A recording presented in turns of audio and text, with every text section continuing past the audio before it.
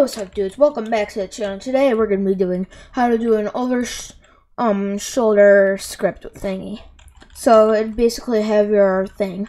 So you're going to open up starter player right here above sound service. So you're going to go down you're going to press this area to make it bigger, the file, the folder bigger. Then you're going to see two things. Um start starter character scripts and starter player scripts you're going to want to press the plus on the starter character scripts. So in that, you're going to have to put a local script. And inside that local script, you're going to put this. It's for the older sh shoulder overhead cam, whatever you want to call it. So that's all done. The script will be down in the comment section. I didn't want to do it.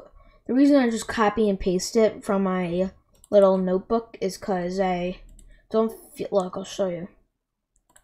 I put all my scripts in here.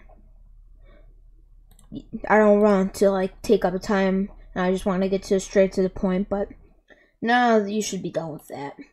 You don't need to name it necessarily, but you can do it if you want. But for this video, I'm not gonna. Look, it works now. Now the only thing that I'm gonna have a trouble with is getting off adult Delete. Okay. Not OBS. Okay. There you go. Well, hope you guys enjoyed that video. It was a pretty quick scripting video, but hope you guys enjoyed. Please like and subscribe, and I'll see you guys in the next one. Peace.